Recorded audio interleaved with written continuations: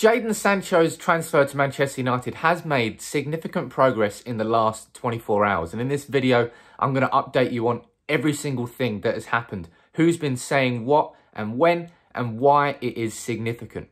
Now, before I do begin, can you do a few things for me? Number one, drop a like on this video. And if you're watching on Facebook, make sure you share it. It really does help us. Number two, the Premier League kicks off this weekend. Make sure you join our Fantasy League competition Eric Cantona's signed shirt as the prize. Over 1,500 entrants so far, but only a couple of days to go until it closes. And make sure you join our Discord community. There is a link in the description. It's free. 1,200 of us on there already. See it as an extension of the YouTube comment section. It's good fun, and there's a lot of us on there. And let's talk about Sancho and these major significant developments that have happened in the last 24 hours. Now, the fire was started again by Fabrizio Romano with his update that I already covered yesterday. Him saying that Sancho is ready and buzzing to join United. He's not going to go on strike. He's happy to join, but United need to pay that 120 million, which Fabrizio has said all along.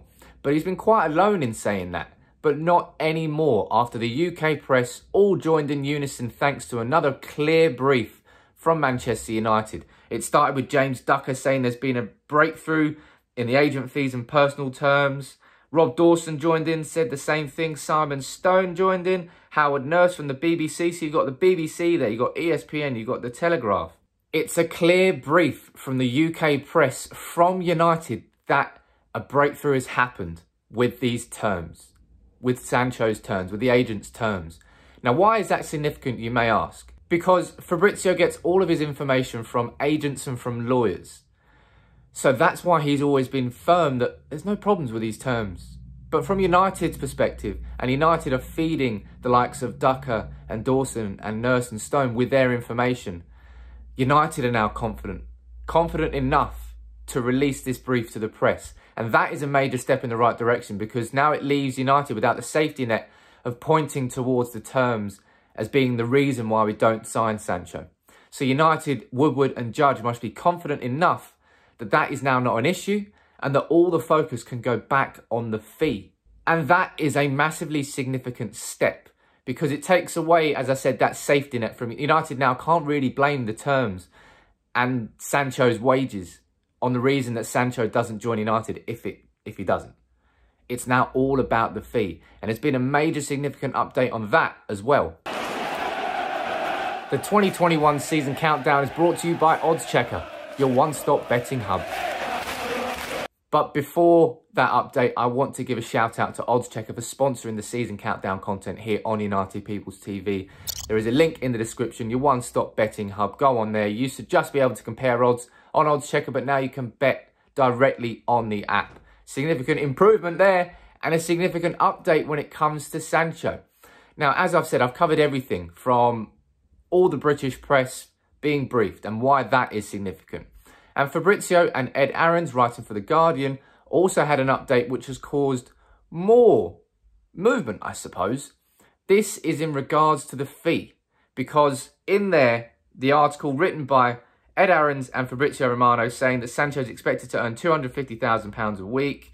Dortmund is still insisting on that 120 million, but also mentioning there that United were understood to last month have offered an initial 90 million plus a further 18 in performance related add-ons. Now that caused quite a big storm.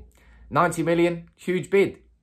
But Fabrizio clarified it on Twitter when it sort of blew up, saying, look, that was the unofficial bid from United in August. They're still waiting for the next step because Dortmund want 120 million without any add-ons. So Fabrizio they're not confident enough with the source, whoever's provided this source of this unofficial bid. There is no official bid at the moment, so don't go crazy thinking that United have offered 90 million, it's guaranteed. Fabrizio's clearly not confident enough with that information at the moment. But it's still significant in the fact that I think we can now put Sancho's wages, the agent fees, commissions, all of that to bed. That now cannot be considered a reason why United will not sign Jadon Sancho this summer all eyes are on the fee.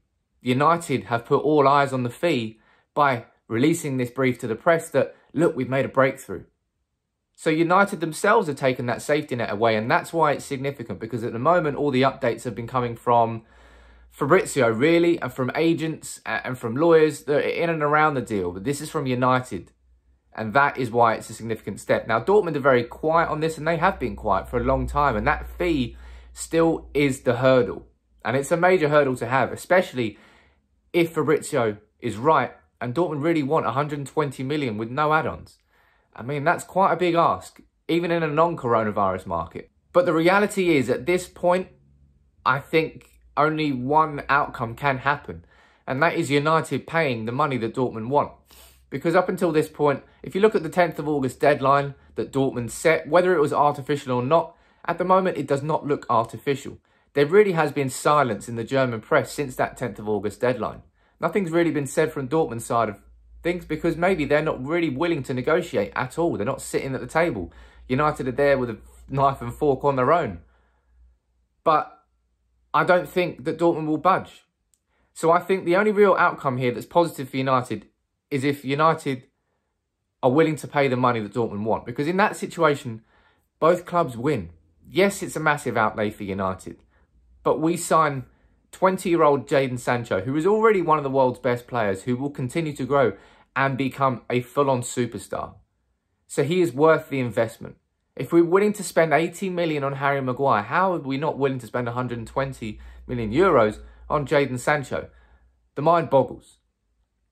And Dortmund also win because if the 120 million offer comes in, they can say, look, we promised Sancho that he could leave if 120 million offer came in. It came in. It's a bit like Ousmane Dembele. They're saying he's not leaving. The big big comes in. we have to let him leave. That's the situation now.